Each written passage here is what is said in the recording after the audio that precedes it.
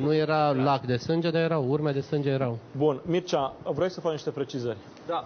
Deci, experimentul nostru, eh, mă rog, noi am zis reconstituire. Eh, Experimentul nostru sau ce a fost... A Ești fost, încântat de ce a ieșit? da, nu, a fost absolut exact, Da. domnul general și eh, domnul Beliș. Eu vă Deci, cred. A fost absolut exact. Adică, dacă vreți, vă spun cu subiect și predicat, dar cred că înțelegem și fără să vă spun cu subiect și predicat. Domnul Titi Aur respectă legea, eu o încalc des. Deci nu avem niciun fel de dubiu. Adică de la stația de betoane până la copac unde a fost accidentul, o mașină care are 150-160 de cai, cântărește 1400 de kilograme și accelerează undeva la 9,5 secunde până la 100, în carte, până la 100 de kilometri, atâta face, cât am plus, minus 2 secunde, maximum. Atâta face. Nu există altă variantă. Uh, Deci aici nu e doar um, e- nu e doar experimentul de pistă, hai să o luăm așa. Sigur că experimentul a fost făcut pe pistă, dar nu e doar ăla. Nu, noi am făcut pe pistă, așa cum ați văzut, uh, maestru Titi Aur a încercat pe distanța respectivă să um, vadă ce uh, viteză ar fi putut să uh, obțină Condrea uh, Juridic este un experiment, o simulare. Deci Adică 180 de atât, atât ajungi, la 180 la oră. Deci de la, de la betoane până la accident, Da, aici e totuși o 180 la oră, întrebare, prins. de la betoane până acolo, dar, uh, domnule era Titi la Aur, betoane. Asta este de fapt e o întrebare pe care Dacă nu era, la betoane, Dacă nu era la atunci, betoane, atunci cum ar fi se ajuns schimbă el la mult datele betoane problemei. nefiind pe cameră de supraveghere? Că asta e totuși o întrebare la care nu am primit răspuns. Deci aș încerca câteva răspunsuri. În primul rând, nu împărtășesc părerea că cei care fac anchetă ar trebui să facă public din periodic uh, cum merge ancheta. La un moment dat vor ieși cu concluziile anchetei și probabil încearcă să aibă absolut toate datele și pe unde au circulat telefoanele și ce discuții și prin ce, prin ce camere a trecut. Pot să vă mai spun că, neoficial, pentru că am uh, auzit doar, uh, nu am confirmarea, Uh, Teoria mea a spus că a venit dinspre Buftea, s-a dus până la intrare în Tamaș, a întors și a făcut acest drum de mai multe ori chiar ca să poată să-și aleagă locul unde să intre în copac. La hotelul de la ieșire din Buftea, exact pe linia dreaptă înspre Tamaș, prin camera hotelului a trecut de trei ori. A, avem acest, nu suntem siguri însă. Este avem doar o aceste informație, este doar o informații, dar nu informație. suntem siguri. Adică Da. noi n-am văzut acele imagini, doar au spus unii că ar fi dar văzut. cu siguranță, prin camera din Buftea a trecut la o oră, nu mai știu să vă spun exact, la 10 minute după a trecut pe la, podul, pe la camera din Mogoșaia, pardon. Pe urmă a trecut la 10 minute pe la podul din Buftea și pe urmă a trecut prin camera de la hotelul ieșire. Astea sunt informații despre- neverificate, din, Uh, specialiști așa le numesc. Da, să zicem neverificate, dar verificate. Neconfirmate, Ne- ele Da. au fost însă... Uh, Am o rugăminte la colegi, dați-mi vă rog harta, pentru că ce spune domnul Titi Aur e foarte important de văzut pe hartă pentru cei care nu știu zona, pentru cei care poate uh, nu sunt din București, n-au trecut niciodată pe acolo. Eu știu și cine e sursa și de-aia am oarecare rezerve cu privire la aceste Uh, informații. Nu sunt 100% Continuarea este sigure. felul următor. Ia, uh, maestre, uh, haideți cu mine, vă rog, la hartă. Eu? Pentru, da, pentru a arăta foarte clar de unde am făcut noi această, acest experiment uh, și deci noi pornim practic de unde este săgeata. Teoria dumneavoastră a fost din prima clipă că el de fapt a venit dinspre Buftea, Da. a venit din zona aceasta, merge către, Către Tamaș, Tamaș și întoarce la întoarce intrare în Tamaș, unde este săgeata da. respectivă, își ia viteză de unde noi am plecat practic Da. Și ajunge unde uh, intră în copac. În același timp avem următoarele informații. Sigur a intrat în copac, asta știm sigur. După cum arată mașina, sigur avea viteză, că avea 150, că avea 160, că avea 140 sau 180. Asta este discutabil sau nu, va spune și expertiza, dar sigur avea viteză mare. Sigur venea dinspre Tamaș, asta este sigur. Și sigur nu apare în niciuna din cele patru camere verificate venind de la DN1, Corbanca... Deci, el nu apare sub nicio formă pe aceste camere din DN1. Da. Cea de la Petrești, uh, sunt o serie întreagă de cele camere. două din Corbanca și nici pe ultima cameră de la acea stație de betoane, de unde până la acel pom nu mai există niciun drum lateral circulabil. Dar dumneavoastră aveți informația că undeva în această zonă, unde la este ieșire un din Buftea hotel, pe linia dreaptă către Tamaș, da, aveți informația că în ac- la camera hotelului din acea zonă a trecut chiar de mai multe ori, deci de trei ori. Asta este Dar informația. ce sens ar fi avut să treacă de mai multe ori? Deci este undeva aici, e în câmp acest hotel, uh, părea că merge de nicăieri spre nicăieri. Da, sensul ar fi următorul. Conform teoriei mele, repet, așa presupun eu, Da? este că s-a dus până la Tamaș, a întors, a venit, a găsit locul în care vrea să intre, a mai făcut o dată și la un moment dat, a treia oară, pentru că a trecut de trei ori prin acea cameră, a treia oară a spus, bine, acolo voi intra. Cu siguranță un om care conduce bine mașina știe să intre într-un pom, nimerește pomul în sensul, în sensul ăsta știe să intre cu siguranță nu a frânat înainte de pom, că nu e nicio urmă, cu siguranță a intrat cu viteză mare, cu siguranță a venit de către, de, dinspre Tamaș și iarăși cu siguranță, conform uh, experimentului nostru de astăzi, de la ieșire din Tamaș până acolo, se poate ajunge la viteza de 150-60, sigur și la 180, da? dar minimum la 150-60. Și din nou, uh, informațiile date de doamna Gabriela, cum că a fost depășită la un moment dat la ieșire din Tamaș, că a fost depășit cam cu 100, depășită cam cu 100 și la oră. Din acel moment până la POM, experimentul nostru de astăzi a arătat că se putea ajunge la o viteză suficientă încât mașina să se distrugă în acest fel. Da, da, da dar la, 100, la 150 doamna ar fi venit mult mai repede. Ok, aici sunt și atunci discuții. biciclistul nu mai ajungea. Aici sunt și discuții atunci... cu biciclistul, fără biciclistul, cu, dar sigur păi, de la... e important în ecuație. Sigur venea dinspre Tamaș, sigur Asta da, a ajuns da, la asta acel e clar, pom, da. sigur a intrat în acel pom, fără frână, cu azimut direct în acel pom.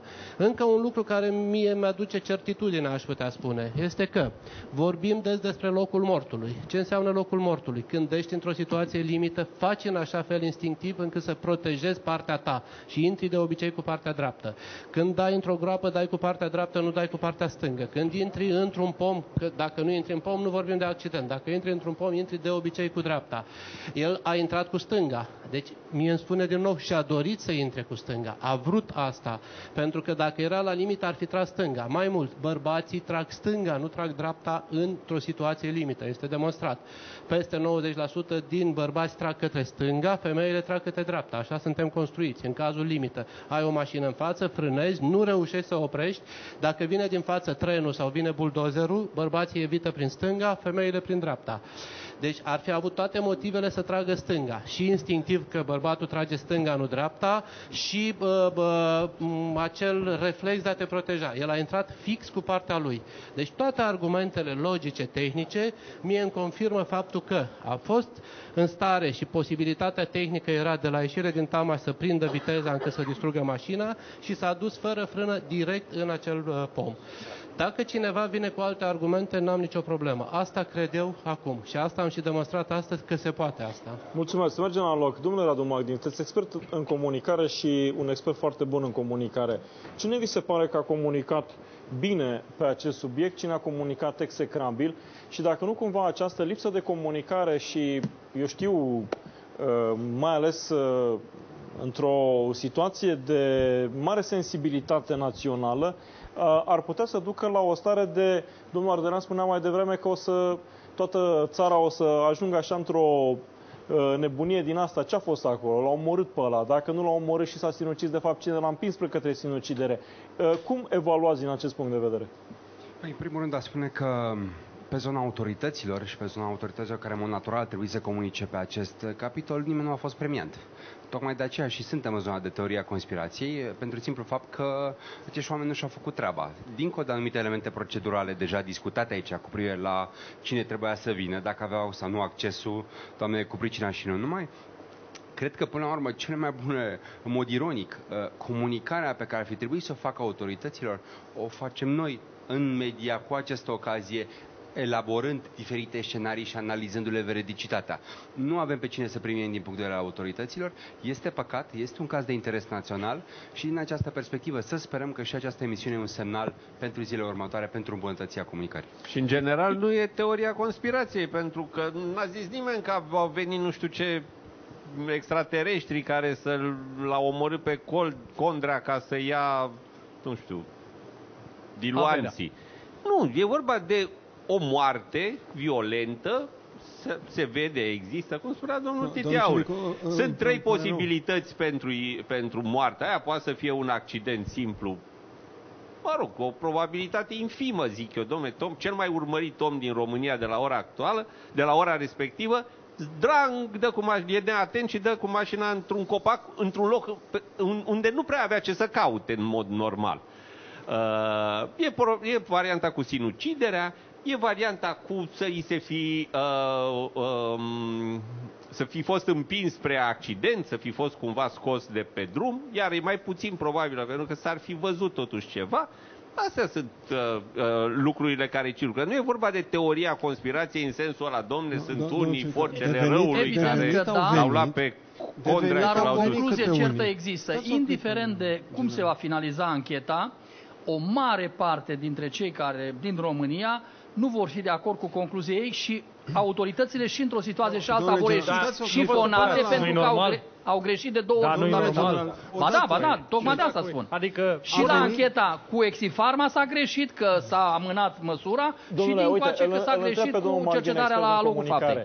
comunicare. Uh, semnele de întrebare și eu știu uh, neîncrederea într-o, într-o concluzie a autorităților, neîncrederile astea se nasc într-o zonă în care comunicarea este strălucită sau într-o zonă în care comunicarea Este foarte proastă. foarte proastă. Corect. Pe mie mi se Este pare că ele se obligativitate. prind și de fapt cresc uh, Au așa... fost îngemănate și au creat o tumoare pe, Pe, pentru că, uitați, pe îmi scrie, percepția cineva, publică. îmi scrie cineva în care, uh, în a cărei judecată am mare încredere și care e o persoană foarte uh, sofisticată, intelectuală, zice, domnule, stați puțin, avem un biciclist care n-apare, care cere să fie scos pe ușa din spate, care și fotografiază bicicleta, ca altă explicație n-a găsit. Ce să vezi, în 30 secunde ca un cam- campion mondial ajunge la fața locului. Dar dacă le-ai aruncat ceva în față, dacă ăla a încercat să-i provoace accidentul lui Condrea știind că vine pe acolo, e posibil asta, domnule general? Da, sigur, și este posibil ca să fie martor asistent și și doamna că a fost chemată după aceea să semneze procesul verbal. O regulă fundamentală, martori asistenți rămân de la începutul cercetării și până la sfârșit acolo să vadă verigi- veridicitatea consemnării situației faptice. Ori dânsa a plecat după o oră, iar biciclistul după 15 minute, din ce ne-a spus doamna. Da, ar mai fi trebuit, scuzați-mă, ar mai fi trebuit ca acel uh, martor conspirativ să-l convingă pe Condra să plece de la Buftea la Tama, să întoarcă, să-și ia viteză și în dreptul lui să-i facă bau sari în copac. Da, Ar fi numai trebuit și puțin, asta. stați Să, deci, Vă rog. de spus au spus. Deci, doamna Monica Macovei a spus că nu e Condrea. Imediat. Că de unde știm unde că știa s-ar doamna putea... Macovei? Că, nu știu, de unde știe Bine, dânsa. vorbim de persoane serioase, Da, nu? deci vorbim... Metagenetic, da, nu, vorba stați domnule, o dânsului. clipă, vorbeați de comunicare, nu știu. Deci, uh, testul ADN ar fi lămurit uh, imediat orice... O să lămurească, înțeleg Păi mâine, da, dacă e de asta. dar la început au zis că nu se face, că l-a recunoscut soția, soția și domnul Ciuvică și eu avem dubii că Bun, știe și dacă dânsa. nu e domnul Doamna Condrea- Pelin a spus foarte clar că nu avea nicio soție acolo. Bun, ok. Bun. Și Și dacă dacă nu e- mai mult, doi, Bine, dar în faptele- învălmășala aia putea să nu Domnul mai aibă general, controlul până tuturor la persoanelor comunicare- care vin, pleacă. Domnul general, până la comunicare, faptele vorbește, ca să spunem așa. Te uiți în filmele americane și vezi cum însemnează locul, pune numărul 1, 2, 3, le iau, le... Aici Păi așa zăceau trebuia să se facă fiare... și aici, asta Stați sunt o clipă. regulile și la A noi. venit domnul Mitică Dragomir și a spus el că i-a zis cineva că există un chip, așa, o chestie tehnică pe care o bagi în computerul mașinii și îți trage ăla de volan, îți pune frână, îți accelerează.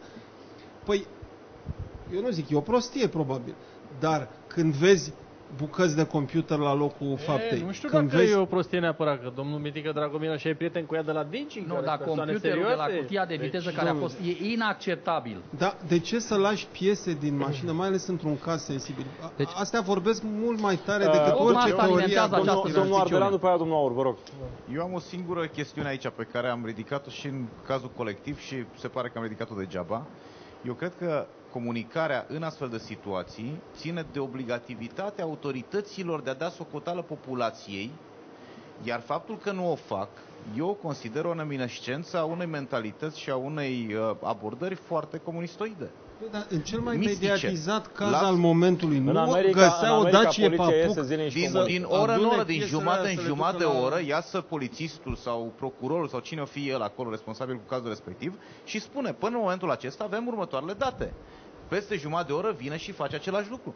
Ei, eu cred că chestiunea asta este mai mult decât orice altceva o obligativitate de responsabilitate în fața cetățenilor, care nu se practică cu tot respectul pentru cei care au lucrat în structurile uh, statului. Eu cred că chestiunea respectivă trebuie rezolvată cumva. E o abordare mai tehnocrată, facem și tacem. Nu știu, că aici nu ține tehnocrație în dumneavoastră. momentul... Nu, aici Deci, ține da. de competență și de înțelegerea legii. Deci dacă ar fi altcineva în locul lui Condra, cred că ar fi treb- trebuit să îndeplinească și asta, să fie împlinite și alte condiții. Unu, pe acel cineva să-l convin să se sinucidă. Doi, să facă drumul dus întors, Doi, cum cereți spuneam. logică pentru Monica Macovei sau ce fel? Ok, nu, nu, Nu, nu ce apropo stăm, de, mă? de ce Aia a spus. m-a Ma- denunțat așa că- mai mult de atât, cu siguranță s-ar fi aflat la ADN și mai departe și era mult prea complicat ca să, să faci un, Trebuiau un scenariu. implicați zeci de oameni într-o țară Vă în rog. care dacă doi sunt implicați, al treilea... Vă rog, domnul află. Tinu. Eu cred că e un lucru extraordinar că s-a făcut această stimulare și mi-aduc aminte că și în cazul tatălui meu, tot Antena 1 a făcut o simulare cu un autoturism asemănător, cu viteză, am găsit și un șanț. Aș avea o întrebare pentru domnul Aur și pentru domnul, domnul Badea. Pe înregistrarea de la betonierea aceea, uh, apare, uh, în momentul în care trece mașina doamnei, în fața mașinii doamnei este un, o mașină de teren.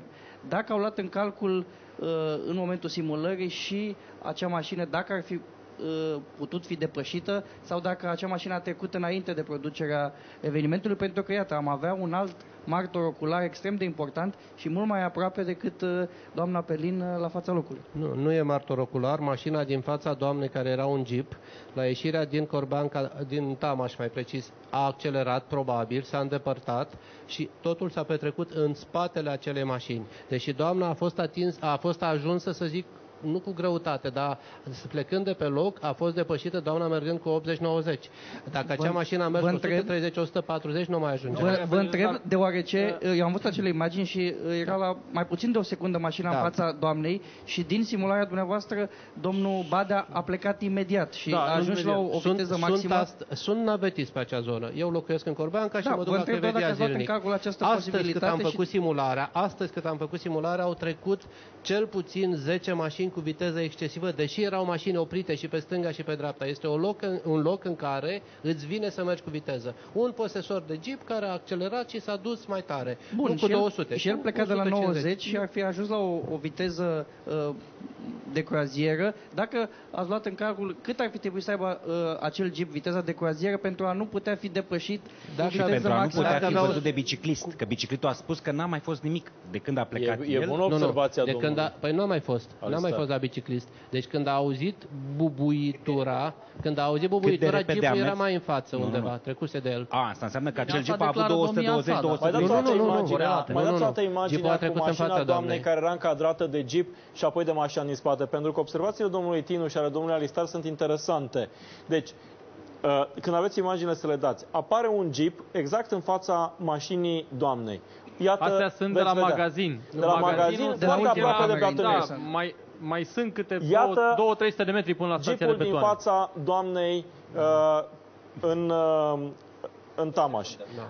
E la o secundă. Apoi vine mașina doamnei și, desigur, după mașina doamnei, la 8 secunde, vine o altă mașină. Întrebarea domnului Tinu este una foarte tare, și anume, cu ce viteză a trebuit să meargă jeepul din fața doamnei de la o secundă, între atât de mare, încât să nu fie prins din spate de uh, Condrea care mergea nu, cu 100 60, 70, 80 la Dacă oră. jeepul mergea cu 150-160, până la locul accidentului n-avea cum să ajungă Condrea. Bun, și Asta e biciclistul exclus. care a observat tot și 300 de metri și așa mai departe zice că nu era nicio mașină. Da. Pentru că a mai apărut în martor, Astea doamna... sunt întrebările care rămân, că n-ai ce să... Adică inclusiv mașina aia de la 8 secunde, că noi am făcut astăzi experimentul, noastră cum ați trecut de mine, eu cum i-am dat blană. E, ăia, ăla care era la 8 secunde, îl avea deja o viteză, nu? Da. Uh, Deci, deci probabil cât a coborât m-ar doamna, fi au mai incomo- trecut sau niște l-aș fi mașini. incomodat, eu fiind Condrea, da, până mă urneam eu de pe loc să ajung la viteza cu care să, l-aș fi incomodat pe ăla la 8 secunde din Sau spatele poate meu. l-a depășit și pe ăla, sau poate Sau- nu, nu știm asta. Nu știm asta. Da, Sa, Era dacă l-a, asta. iertați-mă dacă l-a depășit și pe ăla, înseamnă că l-a așteptat să-l treacă, să treacă și ăla. Și atunci a plecat mult mai târziu. N-a plecat N-a plecat, instantaneu da. Ok. cum Sau am poate a plecat, eu plecat și în atunci se sens, schimbă da. complet Da. datele probleme. Și a mai- pentru că ar mai fi înseamnă că pe pierdut doamna timp o depășea mai și în târziu. momentul în care îl depășea. Da, și deja se schimbă Ce totul. este foarte sigur că a plecat Condrea de la ieșire din Tamaș, că altfel n-ar fi ajuns cu viteza aia acolo și n-ar fi intrat în pom. Iar teleportarea adus de undeva direct în pom, eu nu, nu Domnule împărtășesc. Macedonski, Stați să se- vorbește lumea la Brașov despre acest subiect? Să știți că fiind în campanie, prea puțin Prea am puțin. avut timp să stau, fiindcă am stat de vorbă cu oameni și am rugat să se implice în dezvoltarea orașului lor, în Da, primul zic, rând. oamenii la Brașov stau cu picioarele în apă rece și se uită cu luciditate la aceste secvențe. Domnul Ghidea, pot să vă pun și o întrebare dumneavoastră, în mod special? Nu știu dacă pot să vă răspund, dar dumneavoastră puteți sigur, orice. Sigur, trebuie să aveți un Pot să răspuns. vă răspund eu la întrebarea pe care o Dacă pune nu domnul poate Gâdea. domnul Gâdea. Ia să vedem. Domne, ce s-a mai întâmplat, domne, cu izraelienii aia doi care au atacat-o psihotronic pe doamna și Că fac zilele astea, azi, mâine fac două luni de pușcărie. Stau tăcuți acolo în pușcărie, eu am văzut românii când sunt băgați la pușcărie, se mai zbat, se mai cer afară, mai se duc pe la tribunale. Poate domne, nu plăcea, domne, eu știu. Scoteți-mă de aici, sunt nevinovat. Băieții ăia doi... Da, dacă or fi și plecat din de, România. de două luni nu se mai știe nimic de ei, ci că sunt Da, la, sunteți la sigur, beci sigur, acolo. Dar sunteți sigur, sigur că sunt la beci în Păi continuare? asta vă întreb pe dumneavoastră. Că Eu dacă aș ați știut- miza pe faptul că izraelienii Pentru sunt că se- băieți orientați se și întâmplă- nu stau prea mult la beci. Se întâmplă Ce tot zice felul domnul de general? lucruri bizare, Cred că nu aveți vedeți? dreptate. Și am Izraelienii spus-o care, chiar și din că- acel moment că s-ar putea Izraelienii într-un care timp au rezonabil spart să nu mail, mai- i- domnul Gâdea, izraelienii care au spart mail-ul doamnei Chioveși și au intrat la pușcărie după care aflăm că Dar nu nu i-au l-au mai- spart nu l-au mai spart. mail-ul doamnei Chioveși și nici colegilor și nici părinților și nici asta. Acum vine accidentul ăsta absolut ciudat, care este anchetat și mai ciudat decât e accidentul însuși. Tot felul de ciudățenii. Dar Cum faptul comentați, totuși domnul că, Badea? uh, Eu comentez așa, faptul că în România, nu e așa, avem niște specialiști care reușesc să identifice atacuri pe care israelienii nu le-au comis, că ei, autoritățile române, au identificat atacuri pe care israelienii nu le-au comis. Asta mi se pare foarte tare. Dar atât de tare e țara asta încât, iată, niște doamne cu mătura vin să facă ordine între probe, adică aceste realități care coabitează, cum ar veni, nu vă duc așa pe culmile lui Digi, cum ar Domnul veni, Badea, adică mă simt dumneavoastră, numai de Digi total, așa, parcă sunt sunteți Digi, autorul, Digi. trăim în România Da. și asta ne ocupă tot Da, timpul. e, sunt, deci ce de dracu cam să la fac, 3 dar- zile, la 4 apare un nou Am și eveniment eu- și dispare Am și eu o celălalt. întrebare, domnul Gâdea, pentru dumneavoastră Ia să și la vedem, care domnul. aș vrea să răspundă domnul Ciuvică. Continuați. domnul, domnul Gâdea, conform comunicatului uh, DNA și al uh, doamnei Codruța Chioveși, Da. uh, celebrul uh, dosar care a început uh, practic în același timp cu uh, dosarul așa zisului șantaj Da. RCS Serdez. Uh, dosarul RCS Serdez Mitică Dragomir Da. este în lucru încă de atunci, din Păi, anul foarte bine să se lucreze. 2013. Da. Ce vreau să vă întreb? Uh, Ziceți. mai s-a mai înregistrat vreun progres în acest dosar pe care doamna Codruța îl investigează din anul 2013 sau Nu s-a mai înregistrat. nu s-a mai Nu înregistrat. s-a mai înregistrat. Și nu știu ce să facem. Da. Să... Și există motive temeinice pentru care nu s-a mai înregistrat. Facem așa. Și poate o să le și prezentăm noi la GIP unele dintre ele în curând. Uh, facem așa, doamnelor și domnilor, luăm o scurtă pauză. Um, hmm. Da. Bună observație, Mirela Voicu. Uh, ne întoarcem și... Bun, după pauză, facem o concluzie a acestei serii, iar pe această concluzie, de asemenea, cred că rămân foarte multe întrebări. Sunt și niște certitudini. Cred că în seara asta, uh, cu ajutorul profesorului Beli și, desigur, a unui reporter foarte bun de-al nostru, am spulberat un mit. Există ceva sânge la fața locului, cam puțin tel după umila noastră părere, dar nu suntem specialiști. Era diluat. Și... Cum? Era diluat. Era diluat, da. Bun, și ce mi se pare foarte tare, e bun domnul Valvâlcu, uh, ce mi se pare foarte tare este că e acel martor, care a apărut un martor și care ne-a spus că de fapt mașina era urmărită a lui Condrea, să aflăm ce ne spune doamna Pelin despre acel martor și o să-i vedem și mărturia lui, că de fapt Condrea era urmărit și fiind urmărit a pierdut controlul volanului pentru că de fapt el era hăituit și fugea. Urmăriți-ne și dumneavoastră, după pauză. Exact așa.